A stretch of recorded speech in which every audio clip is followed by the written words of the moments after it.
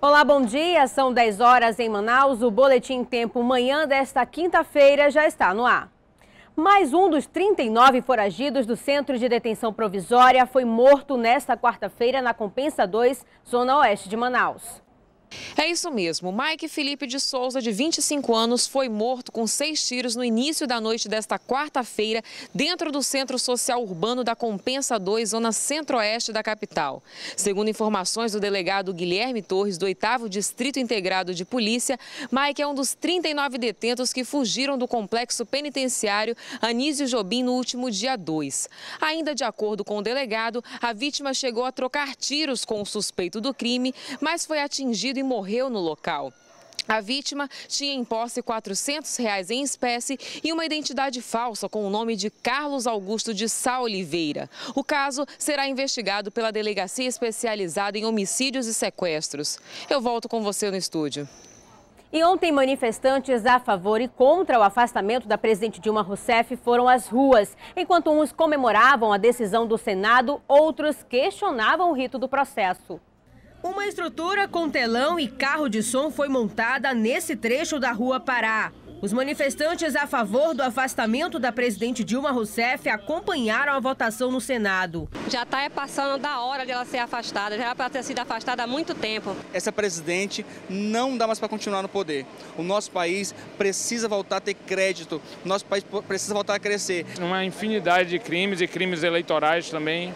Então, para quem diz que não, não há crime, que seria um golpe, ao contrário não é, sobram crimes. Já na Praça do Congresso, no centro da capital, manifestantes pediam a permanência da presidente. Segundo eles, o processo de impeachment segue interesses políticos e a presidente Dilma não praticou crime de responsabilidade fiscal que justifica o impedimento dela. Um golpe contra a democracia, um golpe em que derruba o voto de 54 milhões de brasileiros. Nós elegemos, elegemos para ela ficar no poder até o final do trabalho, até o final do mandato dela. E os deputados federais, os senadores fizeram essa ingratidão. As manifestações aconteceram de forma pacífica e foram acompanhadas pela Polícia Militar e por agentes de trânsito do Manaus Trans.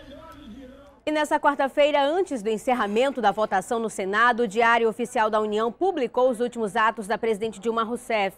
Entre os oito decretos estão a criação da área de proteção ambiental dos campos de Manicoré e da reserva biológica do Manicoré, que abrange os municípios de Manicoré e Novo Aripuanã, no interior do estado. Entre os últimos decretos estão a nomeação de juízes eleitorais. Um deles é o juiz Felipe dos Anjos Turi, nomeado para compor o Tribunal Regional Eleitoral do Amazonas. Agora, ainda falando em política, o governador José Melo deve anunciar na próxima terça-feira um novo pacote de cortes de gastos. O anúncio foi dado pelo secretário de Administração, Evandro Melo. Durante esta semana, o governador recebeu seus secretários para discutir as medidas que serão adotadas. O governo não descarta a fusão de algumas secretarias. Nos primeiros quatro meses do ano, o governo do estado teve uma queda de arrecadação de 323,8 milhões em arrecadação situação que se agrava pela crise econômica. Em 2015, o Amazonas fechou o ano com uma perda de 1,3 bilhão de reais. A Justiça liberou nessa quarta um trecho da conversa telefônica entre o prefeito de Santa Isabel do Rio Negro e o filho dele sobre um esquema de desvio de verbas do município. A ligação interceptada pela Justiça mostra uma conversa entre o prefeito de Santa Isabel do Rio Negro, Mariolino Oliveira, do PDT, e o filho dele, Mariolino Júnior, que trabalhava como contador da prefeitura. Eles conversam sobre a transferência de dinheiro para a conta bancária particular e também sobre a venda de um imóvel. Já pagou tudinho, né? Já, já. Tá. Vai dar um dinheiro meu aí, eu fiz agora eu tenho dois mil de saldo só para queijo.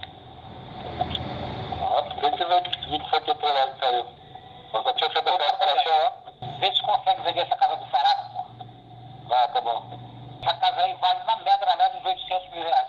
Será que ninguém consegue por 700 nada? Correto. Eu preciso pagar esse pessoal e o único jeito de fazer é desfazer bem daí. Não é nosso mesmo, né? O prefeito Mariolino, a esposa, o filho dele e a nora, além de três secretários e um taxista, eram integrantes de um esquema criminoso que desviou mais de 10 milhões de reais dos cofres municipais da prefeitura de Santa Isabel do Rio Negro, no interior do estado. Quatro deles foram ouvidos na manhã de ontem na sede do Ministério Público Estadual. À tarde, outros quatro envolvidos também continuaram com os depoimentos. A defesa de um deles entrou com um pedido de colaboração premiada, mas isso ainda deve ser analisado pela Justiça. Depois de serem ouvidos, eles devem permanecer presos, o prefeito e o secretário de Finanças, no comando de policiamento especializado no Dom Pedro. As mulheres foram encaminhadas ao Centro de Detenção Provisória Feminino e os homens no CDP masculino, na BR-174. O combate ao tráfico de drogas e ondas de assaltos aqui na capital tem sido intensificado pela polícia. A operação foi nessa quarta-feira na Zona Oeste. A operação começou pela zona centro-oeste da cidade. 30 policiais participaram da ação. O nosso objetivo aqui é combater a criminalidade aqui na área centro-oeste, né? E estamos aqui com vários policiais, delegacia especializada e também do Grupo Fera, para fazer uma incursão em toda essa área daqui, né? Visando combater a criminalidade, para baixar os índices aqui, que é importante no caso, e também seguindo também a determinação do nosso secretário, que pediu que fizéssemos operações em todas as áreas de Manaus. A cada semana, a operação deve acontecer em uma zona diferente da cidade para reforçar o combate à criminalidade em toda a capital. Por isso nós estamos aqui hoje na zona centro-oeste da cidade, procurando percorrer os bairros que compõem a zona centro-oeste e, naturalmente, visitando os pontos mais críticos, mais problemáticos de toda essa área. A população aprovou a iniciativa. Muito importante para nós, né, que é uma segurança, né, que gente, aqui atualmente aqui nós da redação estamos sentindo inseguro por falta de segurança. Em uma área conhecida por ser ponto de tráfico de drogas, foram encontrados recipientes, tesouras e sacolas plásticas. Fiquei até assustada quando chegou um monte de carro aqui na minha passando aqui na minha rua. É algo positivo, então? É claro, com certeza. É muito bom a gente se sentir seguro assim. Na próxima semana será na zona Centro-Sul. E o comandante-geral da Polícia Militar, James Frota, informou ontem que vai se afastar temporariamente do cargo. A decisão foi tomada até a conclusão de um inquérito policial em que o nome dele é citado. A investigação agora está sob responsabilidade do Ministério Público Estadual. Ainda não foi divulgado quem assume a vaga durante o afastamento do coronel James Frota. O Boletim Tempo Manhã termina aqui. Outras informações você acompanha daqui a pouco na segunda edição do Boletim, às 10h50. Eu espero você.